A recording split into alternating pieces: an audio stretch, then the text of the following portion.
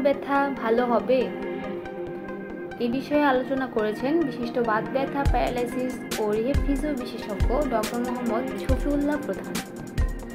কোমর ব্যথায় ফিজিওথেরাপি। ব্যথা নেই বা জীবনে একবার কোমর ব্যথা হয়নি এমন লোক খুঁজে পাওয়া যায় না।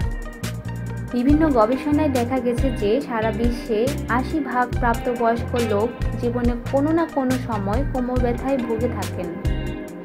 এমন কোনো পরিবার নেই যে পরিবারের কোনো না কোনো সদস্যের কোমর বা মাজা ব্যথা নেই। শির দ্বারা আমাদের শরীরের জন্য খুবই গুরুত্বপূর্ণ। শির দ্বারা ছাড়া আমরা দাঁড়াতে পারব না। শির দ্বারার মধ্যে গুরুত্বপূর্ণ স্পাইনাল কর্ড থাকে। শির দ্বারা আমাদের শরীরের ওজন বহন করে এবং কাজকর্ম করতে সাহায্য করে। কোমর ব্যথায় ফিজিওথেরাপি। শতকরা সত্তর থেকে পঁচাত্তর ভাগ মাজার ব্যথার কারণ মেকানিক্যাল। শির দ্বারার গঠন অনুযায়ী প্রথমে মাসেলই বেশি ইঞ্জুরি হয়।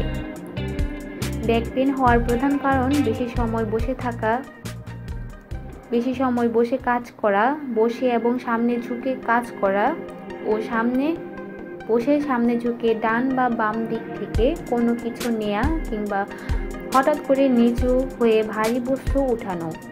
এছাড়া ডিস্কের অসুস্থতা, শির দ্বারাই টিউমার, ইনফেকশন এবং হাড় ভাঙার জন্য মাজা বা কোমরে ব্যথা হতে পারে। তবে এই কারণসমূহের জন্য যে ব্যথা হয় সেই রকম রোগীর সংখ্যা খুবই কম। কোমর ব্যথা সাধারণত শুধু কোমরে থাকে, আবার কখনো কখনো কোমর থেকে হাঁটু বা পায়ের দিকে যায়। কোনো কোনো রুগী বসে থাকলে বেশি ব্যথা হয়, আবার কখনো কখনো হাঁটলে বেশি হয়। এবং কখনো কখনো হাঁটলে কমেও যায়। কোমর ব্যথায় চিকিৎসা দুইভাবে করা যায়, তবে অপারেশন বিদিত বা ফিজিওথেরাপি চিকিৎসায় অন্যতম। কোমর ব্যথায় রোগীদের অপারেশনের দরকার হয় খুব কম, যেমন শতকরা তিন থেকে চারজনের অপারেশন দরকার হতে পারে। কোমর ব্যথায় ফিজিওথেরাপি।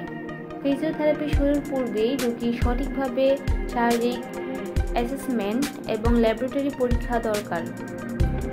কারণ সঠিক ফিজিওথেরাপি চিকিৎসা একমাত্র সঠিক অ্যাসেসমেন্ট এবং অন্যান্য পরীক্ষার উপর অধিকাংশ সময় নির্ভর করে। সঠিক শারীরিক পরীক্ষায় বের করে দেয় রোগীর কী কী অসুবিধা আছে বা কোনো মাসল লিগামেন্ট ডিস্ক বা কোনো কোনো স্ট্রাকচারে অসুবিধা। আমার চৌত্রিশ বছরের অভিজ্ঞতায় দেখেছি সঠিক সমস্যা নির্ণয়ের মাধ্যমেই প্রকৃত ফিজিওথেরাপি চিকিৎসা করা সম্ভব। কোমর ব্যথায় ফিজিওথেরাপি। আমি ফিজিওথেরাপি করি।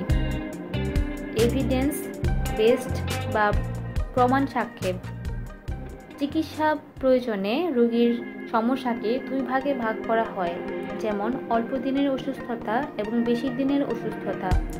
আর ফিজিওথেরাপি চিকিৎসার জন্য আমি সম্পূর্ণ শির দ্বারাকে বিভিন্ন ভাগে ভাগ করি। অল্প দিনের অসুস্থতা বা কষ্টের জন্য অল্প বিশ্রাম, প্রাথমিকভাবে ব্যথানাশক ওষুধ, মাংসপেশি শিথিল করার জন্য মাসেল রিল্যাক্সেন্ট এবং এর সঙ্গে ভিটামিন সিডেটিভ বা ক্যালসিয়াম জাতীয় ওষুধ খাওয়া যেতে পারে। বিশ্রাম এবং ওষুধের সঙ্গে সঙ্গে ফিজিওথেরাপির চিকিৎসা অত্যাবশ্যক। অনেকেই বলে থাকেন, ব্যথা থাকা অবস্থায় ব্যায়াম করবেন না। কিন্তু আমি বলব, সঠিক ব্যায়াম ব্যথানাশক হিসেবে কাজ করে। শুধু সঠিক ব্যায়ামই খুব দ্রুত কোমর ব্যথা কমাতে তাৎক্ষণিক সাহায্য করে এবং তা প্রমাণিত। কোমর ব্যথায় ফিজিওথেরাপি এখানে একজন রোগীর কথা উল্লেখ করা যেতে পারে। রোগীর বয়স বত্রিশ বছর। বিছানা থেকে ছেলেকে উঠাতে হঠাৎ করে মাজায় প্রচণ্ড ব্যথা পায়। ব্যথায় দাঁড়িয়ে থাকতে পারছে না। বসলেও ব্যথা হচ্ছে। জোরে কাশি দিলেও ব্যথা হয়। আমার বিশ্বাস, এমন রোগী আমাদের সমাজে অনেক ঘরেই আছে। কেউ বাচ্চা ওঠাতে আবার কেউ জিনিস উঠাতে এমন কষ্ট পাচ্ছে। নিয়মিত স্বাস্থ্য বিষয়ক আপডেট ও পরামর্শ পেতে আমার ইউটিউব চ্যানেলটি সাবস্ক্রাইব করুন। ও উপরের ডান পাশের বেল বাটনটি চাপুন এবং আপনাদের অন্যান্য সোশ্যাল মিডিয়ায় এই ভিডিওটি শেয়ার করুন।